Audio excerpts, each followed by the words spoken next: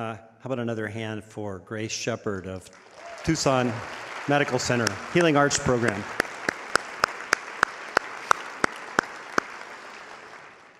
Uh, my name is John Paul Jones. I'm the Don Bennett Moon Dean of the College of Social and Behavioral Sciences, and it's my pleasure to welcome you to the final lecture in our Animalities series.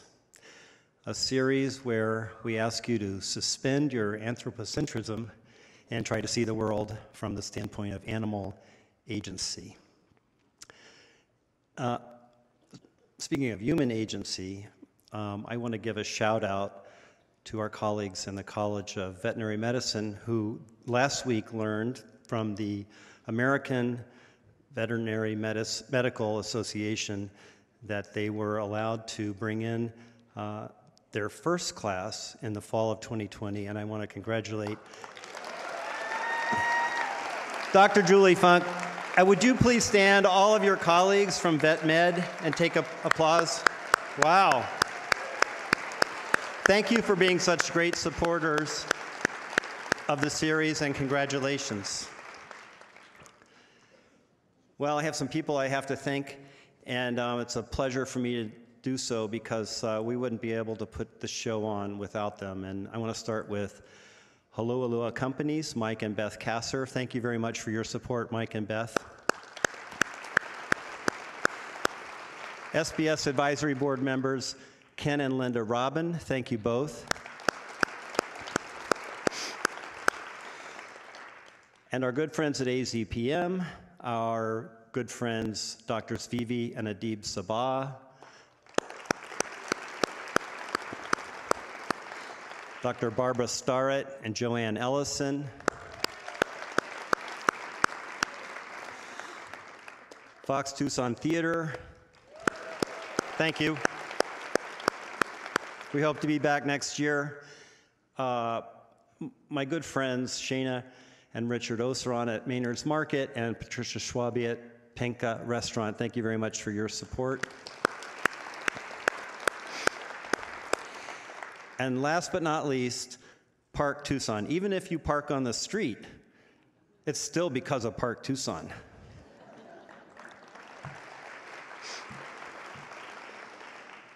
Uh, it's a great pleasure to introduce tonight's speaker, Dr. Kelsey Dayle John. She is a postdoctoral fellow in the departments of American Indian Studies and Gender and Women's Studies in the College of SBS and she received her PhD this year uh, in Syracuse, at Syracuse University in the field of uh, cultural foundations of education.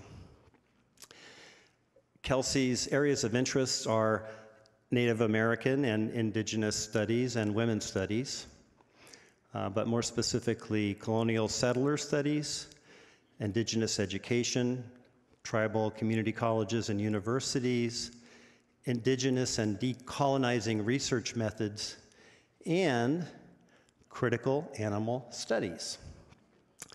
She has uh, received funding for her graduate work and dissertation from the Navajo Nation, from the National Academy of Education, and the Spencer Foundation, and the National Science Foundation.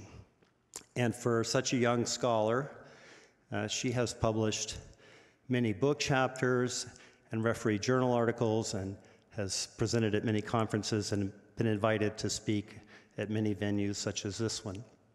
Of the referee journal articles, my favorite journal is one called Hume Animalia, uh, the subtitle of which is A Journal of the Human Animal Interface Studies. And um, I'm going to give them a plug because it's an open access journal, so anyone who's interested can just go and log on and read whatever you want in this growing field of animal studies. Tonight's lecture is theoretical, historical, it's profound, it's also, as you will see, highly personal and deeply rooted uh, in her community. Please give a warm Tucson welcome to Kelsey John.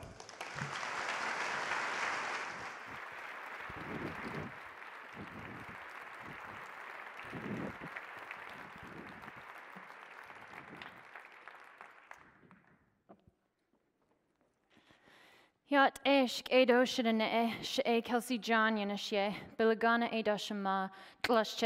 chin bilagana bit ane akot a hok adien dene e nishle tisnas. Good evening, everyone. Um, what I just said to you in Navajo is our traditional introduction. So I said, hello, family and friends. My name is Kelsey John. My mother is white. My father's clan is the Red Bottom clan. My maternal grandfather is white, and my paternal or my paternal grandfather's clan is under the Arm Clan, Navajo, and I'm from East Nez Arizona. So I'm so pleased to be here with you tonight. Um, I wish that I could introduce you to my horse. I wish I could bring her on stage. Um, but unfortunately, we can't do that yet, um, maybe in the future. But tonight, um, I, I'd love to share with you a bit about my personal journey and story with horses and how it relates to education. Also, before I start, I would like to acknowledge um, the ancestral territory on which we're on, which is the Tohono O'odham and Yaqui people land. And I encourage all of you to learn more about the original keepers and healers of this land. So I'm a horse person. Um, I grew up with horses. I can't actually remember the first time that I got on a horse because I was put on a horse when I was an infant. Um, and so horses have always been a huge part of my life. This is a photo of me on a horse when I'm about four years old with my mom um, at my grandpa's cattle ranch. So I've always had a relationship with horses, and horses and I have really evolved together over time. We've evolved and learned together. I like to say that before I ever went to school and started studying education, I was a learner from horses. So, horses were some of my first friends and some of my first teachers. Before I went to classes, I knew how to catch my horse, saddle him, ride him, feed him, and take care of him. And so I had that relationship for a long time. Sometimes people tell me that they're scared of horses, and I always find that so interesting because it's kind of like somebody saying that they're scared of grass or they're scared of rocks, scared of something that has always been there um, and that has always been a, a friend. In the Navajo worldview, horses are healers. And the way that they heal us is by connecting us. So they might connect us to the land, they might connect us to each other, um, or they might connect us to our language and our tradition and our culture.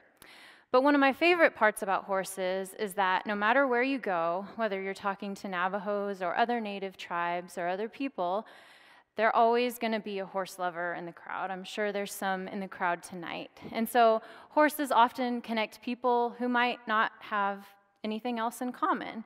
And that's a really beautiful thing. So I think the most important thing is they help us to connect one another. This is a photograph of my parents when they were young before they got married, and they come from two very different worlds, but what they did have in common was a foundation of horses and horsemanship. My mom grew up on a cattle ranch in Colorado, and my dad grew up on Navajo Nation, ranching and rodeoing and training Navajo Mustangs. So our family and our foundation was very much built upon the relationality and connectivity of horses in many, many different ways. I also grew up with Navajo Mustangs. So we grew up with a few horses from my maternal grandfather's cattle ranch, which were quarter horses, but we also grew up with Mustangs that came off of Navajo Nation.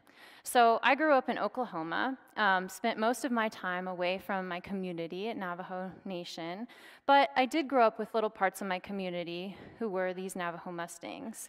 Um, this is a picture of a couple of them with my dad, and my grandpa, and some of the Mustangs that we had. Um, we took in these Mustangs. Uh, some of them were horses that were my grandfather's on the reservation, um, and one of them in particular, which you'll see in the next photo, uh, is a horse that came from a, at a time when they were doing wild horse roundups on Navajo Nation, they usually leave the younger colts. So this was a horse that had kind of escaped that um, Roundup and wandered into my grandfather's corral. And he kind of felt sorry for him, and so he started feeding him, giving him water, and then he came to live with us in Oklahoma, where my dad trained him. So I've seen this training relationship um, for most of my life. So tonight, I'm going to talk to you using narrative, using stories. I'll tell you some stories about my companion horse and I, some stories about my community and about the land, but also some stories about policy and how all of these things weave in together with one another. Stories are very powerful because anything can have a story. The land has a story, animals have a story, humans have a story, and they all connect with one another. And also, you can have multiple stories. I might have multiple stories, the land might have multiple stories, and it's a really powerful thing. In many indigenous communities, stories are used as a form of knowledge communication, and so they're passed down um, from generation to generation for thousands and thousands of years. And that's how we, specifically as Navajos, transmit knowledge. Stories also can capture the interrelatedness or the worldview of a community. So for Navajo Nation, Navajo people, our stories talk about the interrelatedness and the connectedness between humans, land, and the animals. In our creation stories, animals are present. Horses are there with us from the very beginning of time. We're in relationship to them, in communion to them. But also, in our stories, horses have autonomy. And so they speak, and we learn from them. And they have a certain um, valued and respected place within these stories as knowers and teachers. So, before I get into the story about my companion horse, I want to give you a little bit of background information about Dene philosophy.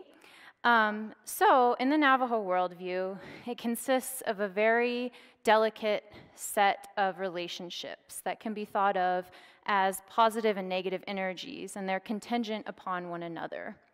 Another way that this can be con- characterized is as male and female energies. Now, this isn't the same type of male and female that we talk about in a Western society or a non Navajo society, but rather these are male and female energies that existed before humans, and they exist throughout all things. So, in the land, the plants, the rocks, the animals, everything has a balance of these two intersecting and complementary energies. This picture represents the Navajo worldview in a number of different ways. In our worldview, we start with the east direction and we move clockwise around to the south, the west, and the north. This maps out our space where we were traditionally set as caretakers of the land by the holy people between these four sacred mountains, but it also maps out a spatial representation of our life philosophy. So, this is important because our day can be mapped using this, where the sun rises in the east and sets in the west and then becomes dark in the north, which is nighttime, and then starts over again. It can also be a life cycle of a human. So, from when you're young to when you're middle, young, to older, and then finally to elderly again. So, it really organizes our philosophy, our philosophy of education, and our thought on life. Finally, and most importantly, there's a horse for each direction. And this is very important because there are different colors of horses that represent each direction, and they represent maybe that time or that stage of a philosophy. So the four cardinal directions ground us as Navajo people, but they also have horses embedded within that too. So they're very deeply embedded in our whole organization of how we live. So every good story starts with a meeting point. This is my companion horse, Bambi. Um, Bambi is a five year old Mustang from Navajo Nation, and I met Bambi while I was volunteering at an equine rescue called Four Corners Equine Rescue in Aztec, New Mexico. I was working on my dissertation research, which was in partnership with Navajo Nation, and during this time, I was interviewing Navajo people about their horse stories and horse knowledges. Well, at the same time, I was away from my own childhood horses, and so I felt a little bit off balance and disconnected. So I started volunteering at this equine rescue. When I met Bambi, I learned about her story, which is that she was picked up with a herd of free range horses near Nageezi, New Mexico, by the New Mexico livestock board. So when horses get onto the highway on the reservation, then they become state property. So when the New Mexico Livestock Board picked up these horses, the equine, local equine rescues come in and see which horses they can adopt. So when I met Bambi, she had been at the rescue for about two years um, and had an, another person who was previously working with her. And when the owner of the rescue told me her story, she said, Yeah, there was someone who was working with her, but her friends convinced her that because she was a Navajo Mustang, she was going to be dangerous. She was going to be too dangerous to adopt. And so then that individual didn't end up adopting her. So I thought that was a very interesting story. so I immediately um, kind of was drawn to Bambi because of that. Um, because as a Navajo and as a Native American person who often gets labeled with all kinds of things, I know what it feels like to be in that position, and I think you know a lot of people know what it's like to be labeled. So we started um, working together. Now, it wasn't always a smooth sailing. Um, when I first met her, she wouldn't even let me walk up to her. Um, it's pretty clear that she had had either no human contact or had had very little or negative human contact prior to her time at the rescue. And so this is an early photo that I took of her, and I was actually not the one who haltered her, but this was about as close as I could get to her. So she was kind of distrusting and trying to um, feel me out, was a little unsure about me, and she was scared of everything. She was scared of ropes, um, brushes, other humans, you name it. Um, she was very challenged or challenged by the fear of those or the unknown of them. So you can sort of tell in this photo, her ears are forward, her feet are braced, very um, sturdy in a sturdy way, and she's not looking too comfortable. But you'll see over time uh, that she does change and she becomes more comfortable with me, and I with her. So, my relationship with Bambi, um, we went through a set of, of training uh, exercises together over the course of a year at the Equine Rescue. And it's a wonderful place because they train volunteers in natural horsemanship, which is uh, the most gentle and relational type of horsemanship and training. So I learned more about natural horsemanship techniques, and I was also learning more about my community's philosophy of the horse, all at the same time that I was working with Bambi and, and helping to um, train her. Well, she'd probably tell you that she was training me. Um, So the training relationship is great. It's like a dialogue. Um, it's like a dialogue or a kind of a dance. A dance, I like to call it a dance of intuition. And the reason is that horses really communicate with you a lot, but they don't verbally communicate. Occasionally they do, um, but they're not speaking to you in English. But what they have to communicate with us is actually very profound. And this was something I knew to kind of tune into from watching my family's training relationships, but also from the knowledge I was learning from my own community members as well. So, this dance of intention is really about asking and trusting and a back and forth. So, this is kind of a short video clip that I took. It's a very routine day with Bambi and I in the round pen. What I'm doing is I'm just documenting that I'm able to halter her. Super easy, very like routine, basic, everyday thing. I probably have done this with her a thousand times, and this is about eight months into our relationship. But you can see very clearly that there's this back and forth. There's this intention between the two, or between the two of us, and um, it's kind of powerful. It's like a dance. So I'll just have you watch this clip and kind of analyze yourself.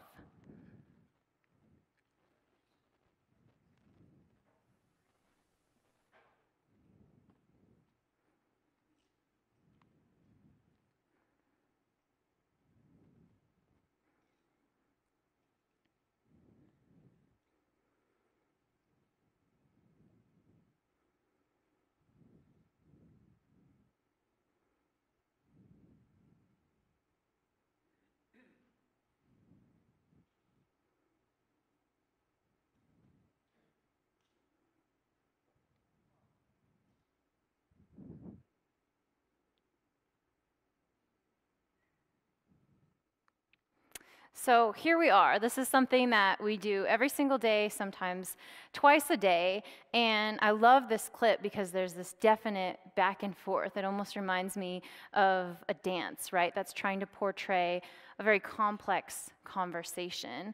Um, and you see that we have this respect in what each other wants. Um, and there's no kind of forceful movements in that. Uh, you can tell a lot, you can say a lot from just such a short clip. So, what I really want to do tonight is to sort of frame this story of Bambi and I, now that you have some background knowledge, really in kind of a theoretical basis. And so when I met Bambi, I was doing a lot of the analysis and writing of my dissertation. And so, in a lot of ways, I think that Bambi is kind of the core of the analysis of my data and the stories that I was getting. Um, from my co-participants and co-narrators on Navajo Nation. The reason being is that in these complex interactions that we had, she was asking me questions. And so tonight I want to share with you three major, big, theoretical, deep questions that Bambi was asking me during this time and how it relates to education and research um, and also policy as well too. It weaves in really nicely. So the three questions are what is wild, what is education, and what is science? Bambi's really smart. the first question is what is wild? So this has always fascinated me simply because I grew up with wild Navajo Mustangs. However, these were the horses that my parents put me on when I was three, four, five years old. and so I always wondered about that. Um, and so I started thinking about the frames that I have as a indigenous studies person and also a gender and women's studies person and thinking about the word wild and what it has meant for our history and, and the characterization of not only animals, but also humans as well, too. So wild is interesting because it's this word that has been used to characterize native peoples as well in the history of the US. Um, and it's all often juxtaposed with its counterpart, domestic, wild and domestic, or maybe wild and civilized. And so the more I sort of got into this, the more I realized that wild is a trope that has sort of dominated the American narrative. And the idea of taming the wild has also dominated the American narrative. I think this photo represents this really, really well. Um, this is called Manifest Destiny, and many, as many of you might know, Manifest Destiny was sort of an underlying religious philosophy that was driving the colonization of the Americas. It's the idea that it is the duty, both religiously and politically, to bring civilization to the wild, wild west, including the people and the animals. So in this photograph, um, it moves from right to left, um, in kind of a swoop of civilization. You can see that on the left side, it's not only darker, but there are indigenous folks, there are bison, um, indigenous folks riding horses, there's dogs. And then as you move to the civilized side, you see that there are power lines, uh, trains, and there's also a farm, which is a fenced in kind of set plot that embodies this Western idea of agriculture. And then, of course, in the center, you have a woman who embodies an angel, and she's carrying a Bible and then carrying the strand of the power, the electricity that's, that's running through. So, this is an interesting painting because, in a lot of ways, it really represents the American narrative of progress and taming the Wild West. But you can see that it's not only a narrative that envelops people, but one that also envelops land and animals as well. In the wild and domestic binary, it also gets caught up in the system of education. So the Civilizing Project was not only a land project, but also an educational project. This is most evident in the residential boarding schools that Native American people were forced to attend. In these schools, um, these individual Native people were taken from their homes, their communities, their languages, their religions, their land, and also, of course, their animals as well. Boarding schools were also an incredibly gendered project. So, in these schools, the gender roles were taught to Native American individuals. And in a lot of ways, they were reversed or new. So, for Navajo women, we have always been on the land with the animals. We were sheep herders, horse trainers, horsewomen, um, agriculturalists, we were involved in all these parts of life. And even more specifically, in Navajo society, it's a matriarchal society, meaning that land and livestock belong to and are passed down through the female line as well. So Navajo women always had control over uh, economic and political issues. But going to boarding school, it was very different um, curriculum there. So I love this photo because it kind of shows the domesticated um, education that these Native American women were receiving at boarding schools that were removing them from the political and economic spheres of society, both Native and also non Native society.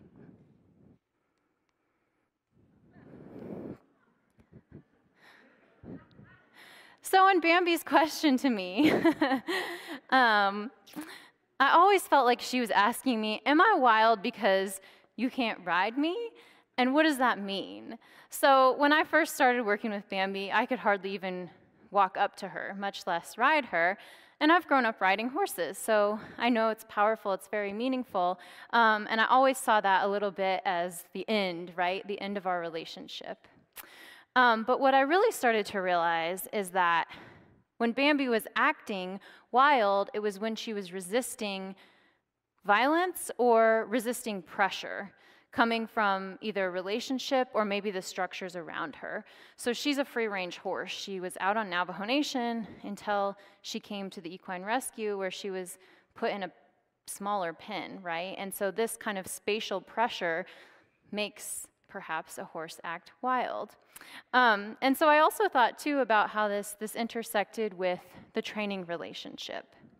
So I'm sure many of you have heard the, heard the word break before, breaking horses.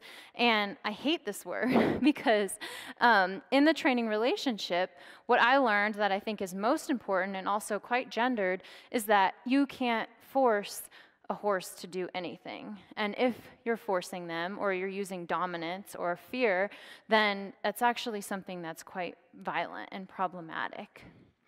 And so, what I like to say instead is that the training relationship is really about reciprocity, and there's a difference there. So, the reason why I say this is gendered is because in gender studies, we like to critique the social constructions of femininity and masculinity. What I mean by that is not that there are any innate qualities that are male or female, but rather there are these social constructions. So with masculinity, it's oftentimes constructed as being good to be violent or dominant or sort of domineering and aggressive, whereas femininity is often characterized as being, you know, making yourself small or being pleasant and conversational, maybe more relational, more caring. Um, and what I learned is that oftentimes trainers try to really embody masculine qualities in the training relationship. And what actually is more effective, I believe, are stereotypically feminine qualities, which are qualities of relationality and care. And so I think this really pushes back not only on the taming of the wild, Western narrative, but also the narrative that horsemanship is something that is um, male dominated as well. So, this story um, of nomenclature is also a policy story as well. So, in 2013, um, the fate of wild horses became a national conversation. This is one of many New York Times articles that covered the situation of a high range of free or high um, number of free range horses, both on Navajo Nation, but also in BLM lands and other indigenous nations um, in the U.S. So at this time, basically, what the conversation was summarizing is that um, horse slaughter had previously been legal in the United States, and people were kind of pushing back against this because the main way of dealing with high free range uh, horse populations was rounding them up and oftentimes sending them to slaughter plants or, or sending them off um, to slaughter plants in other areas as well. So, the reason why wild is important in this characterization is that depending on what you call a horse or consider it to be, can in some ways situate its life or its fate in the policy world as well too. So wild is thought to be something that is not only an animal with no human contact or no domestication, but also an animal that has evolved on the North American continent, right? Sort of uh, um, aside from human interaction or human interference as well. Whereas a feral horse is a domesticated horse that has sort of gone off into the wild. It's had previous human contact, or perhaps its ancestors have had human contact as well. Um, the other definition of horses is domesticated horses. And so I always question, too, the markers of domestication as well, because it's usually human serving purposes or corrals, confinement, um, brands, or maybe a utilitarian purpose as well, too. The one characterization that I did not see, though, in all of these policy conversations was hlin, and that is the Navajo word for horse. In Navajo, horses are not simply domestic or wild, but they're horses, and those horses are our relatives. And so, in, in the relationship of thinking of them as domesticated, it kind of doesn't make sense in the Navajo worldview because you can't own your sister, right? You can't own a family member. And so, this is really where the clash of definitions, not only of what we call these horses, but the worldview behind what we name the horses and then enact the policies becomes problematic. And I'll speak more toward the end about um, the developing policy on, on free range horses, both on Navajo Nation and, and beyond. So I think this goes back again to is wild simply resisting violence or resisting domestication, or maybe resisting an anthropocentric, human centered, utilitarian purpose in our lives. Um, and I think that Bambi and I kind of sort of came to that question because there was a point at which I thought I may never be able to ride Bambi, and that's really what I would like to do, right? That's what kind of brings me joy as a human. But if she doesn't want that, then it's not going to happen, and I have to respect that. I also think about Bambi pushing the limits on wild because she thrived without human contact on Navajo Nation, kind of fending for herself. No one was feeding her, giving her water, or trimming her hooves but she's also now thriving in my care as well. And so I think about the interesting ways that not only Mustangs, but other animal species make us question and push the boundaries of what it means to be wild or domesticated.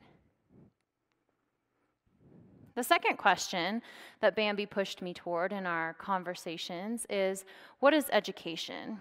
Now, I'm an educational studies scholar, um, so I'm always asking this question what is education? Or maybe more specifically, what does it mean to be educated? And who do we turn to as a teacher or as a knower?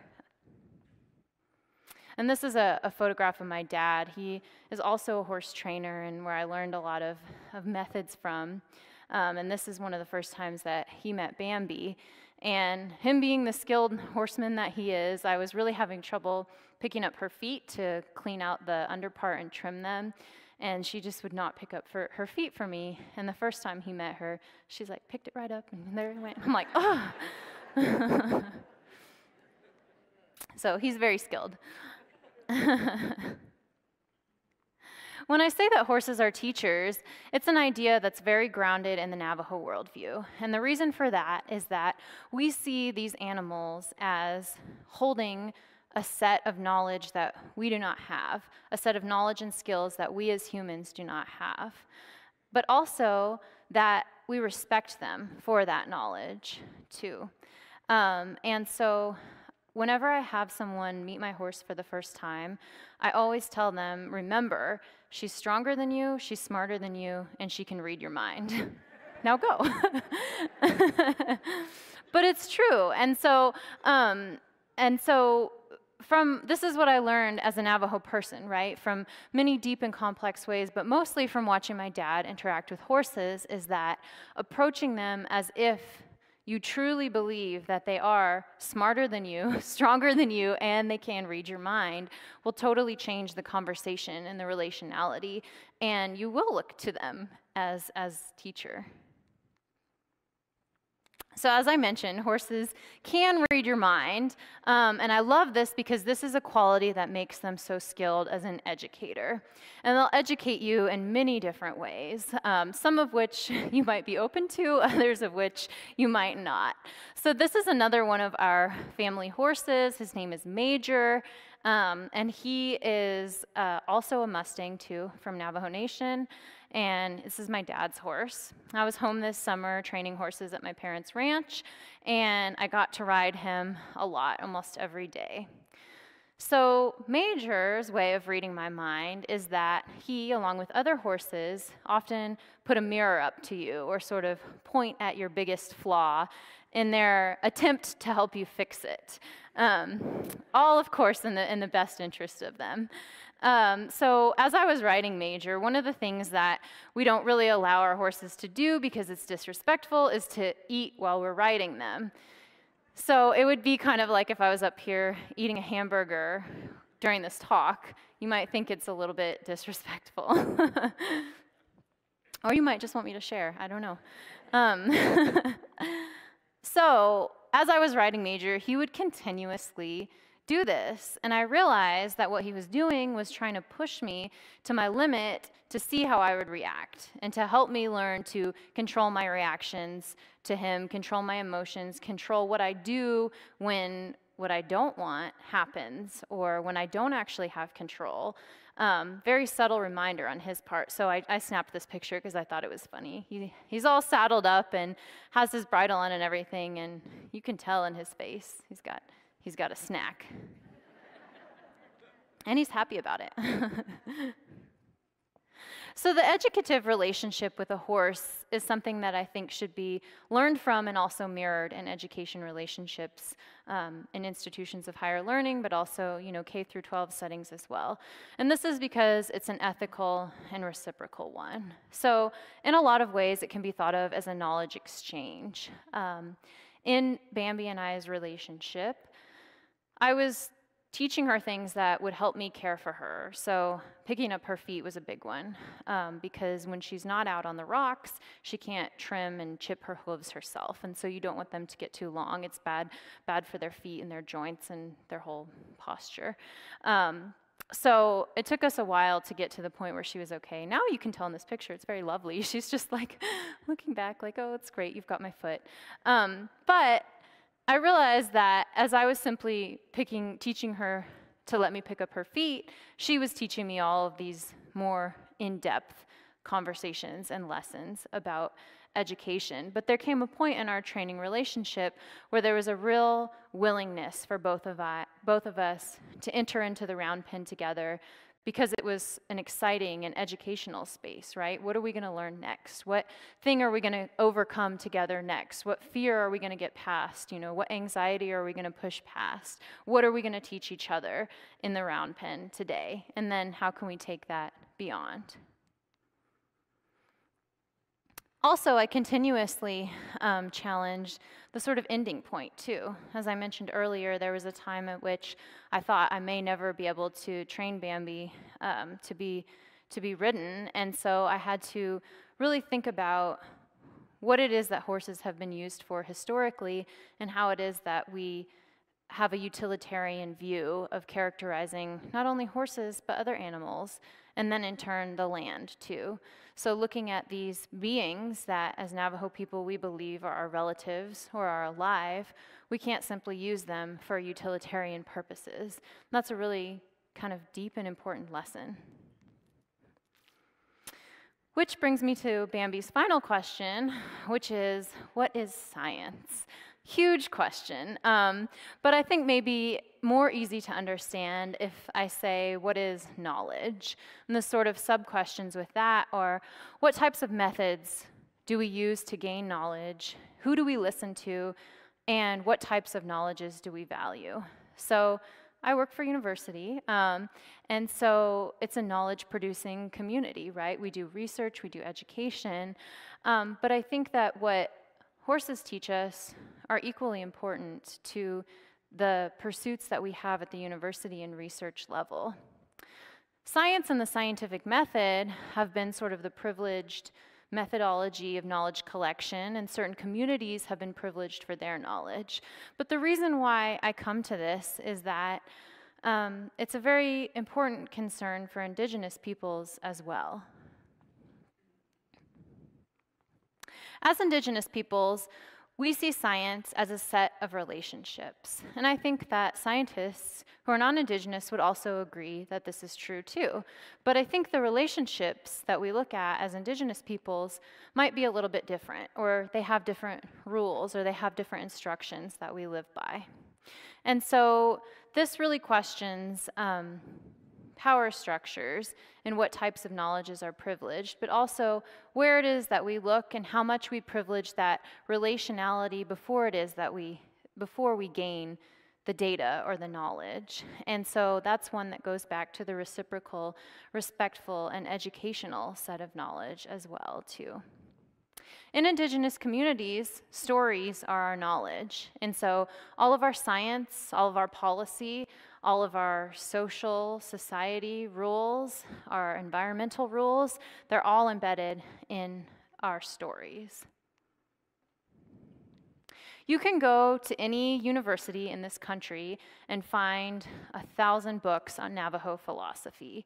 However, what you will seldom find is that philosophy being acted out or listened to.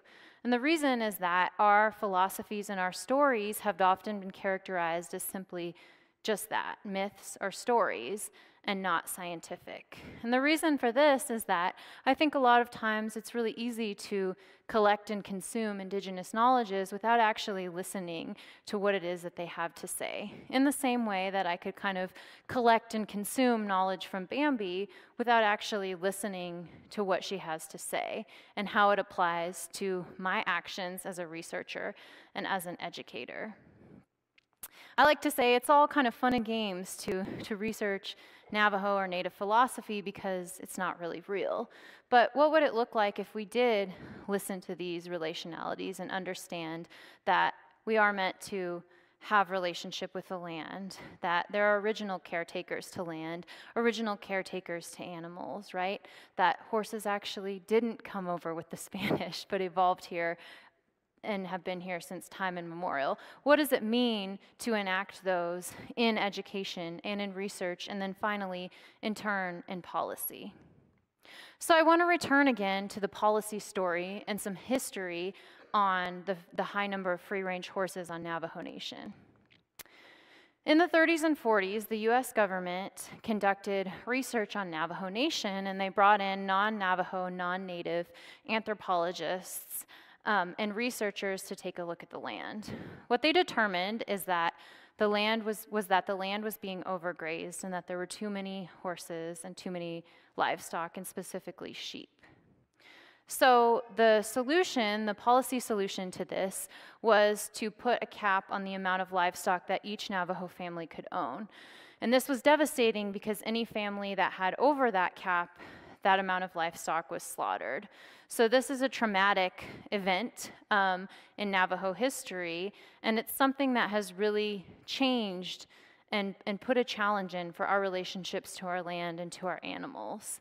So, a lot of times people like to look at the high number of free range horses on Navajo Nation without knowing this policy story, without knowing that two generations ago, you know, our livestock were slaughtered by the US government. And I think that what's even more deeper to this policy story is that there's a clash in worldview that informs research. So, researchers coming in without an understanding that livestock, horses, sheep are family, right, that the land is alive, to come in and enact this policy is absolutely devastating to a community that is completely organized and contingent upon these relationships. Scholars have offered some other alternative explanations for why the range was characterized as overgrazed, and I think these are really interesting, some of which include that it's simply a move to put a cap on expansion and to continue enacting confinement. So, reservations by themselves are spaces of confinement to confine Native peoples and Native land, and the policy of livestock slaughter kind of just continues that as well.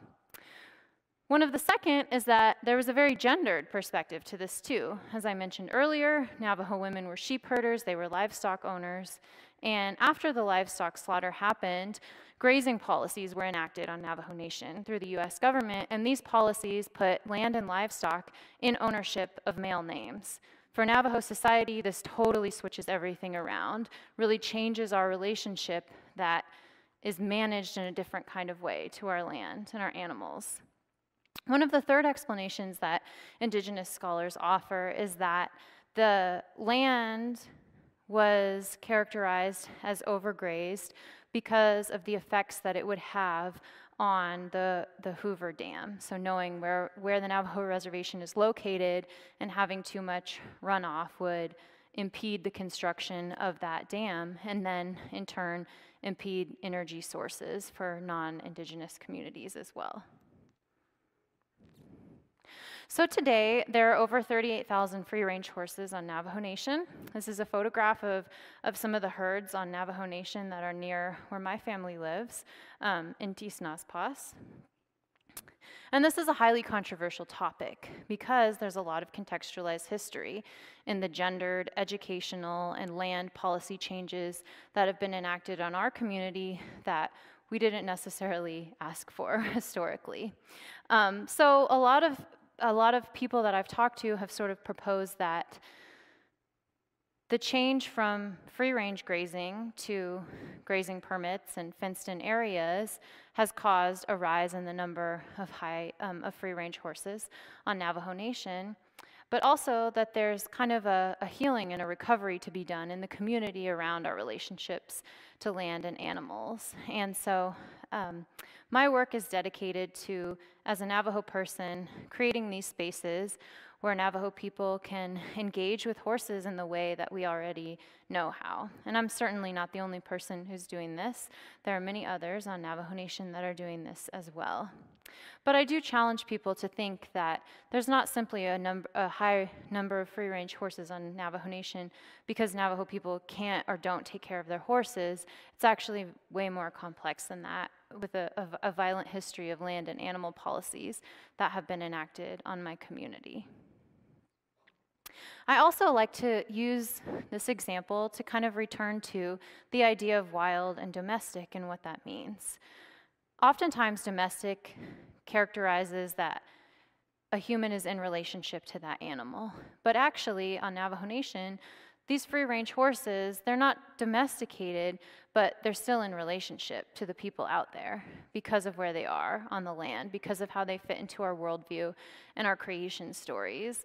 These are some more free range horses uh, currently on Navajo Nation. And I like to go running out there with my dog, and I often talk to these horses while I'm out there running. I'm not saddling them, I'm not riding them, I'm not sticking them in a corral, I'm not feeding them, but I'm still in relationship to them in a meaningful way. And so I think this really pushes what, what it is that we call domesticated relationships and maybe what they actually should be. Finally, to situate Bambi back in this, this is our, our herd, my family's little herd of horses, um, Mustangs and quarter horses, and they're in the rain too, so they don't look happy in this picture. Um, and poor Bambi's the one in the front, she's left out. She was the newest to the herd, so she got left out of the shed. Um, so, really, the story about Bambi is kind of a sweet story, right? How can it not be? Um, but it's also a very deeply historical and political story about these free range horses, about Navajo worldviews, about the clash of science and the way that science and worldviews inform policy and then really complicate things for land and horse um, relationalities and Native communities. So, as I mentioned, um, my work is to promote and create spaces of horse education. So this is a conference that I did to sort of sum up my dissertation research. It was called um, Bean Do Flint Bahane, which means horse songs and horse stories. And the conference subtext was connecting horses connecting communities across Navajo Nation. The wonderful thing about this conference was that it was held at a tribal university, Navajo Technical University in Crownpoint, New Mexico. So it was held on Navajo land. It was a space where we could share our songs and our stories, and younger people could hear them. I learned a lot. Um, that, that education was passed down in the way that we used to pass it down before formal schooling came into, came into the picture. It was also cool because we had a live horse demonstration on campus. And so we set up a round pen behind the gym, and you can see on the left side that uh, I invited a horse trainer from the community to come and do a training demonstration, and then to relate that back to education. So this was a space that brought together not only students and faculty at the university, but also local ranchers, horse trainers, grazing officials, policy people, to all remember and center the sacredness of the horse and to start our conversation from that place. And so this was a, a, a wonderful event that I hope will continue annually um, at this university or maybe different spaces in the community as well. So I just want to um, uh, also kind of put a plug in for this as well. If any of you are interested in this, please feel free to contact me. Um, and also, if you're interested in donating to Four Corners Equine Rescue, I would encourage you to do that. That was where Bambi came from um, and where we had our training relationship before I adopted her. And just so you know, she's in Tucson with me now. So she she's boarded at a facility just down the street from me, and so we hang out every day, um, and we're still doing well. Uh, so I just want to thank you, and um, Bambi wants to thank you.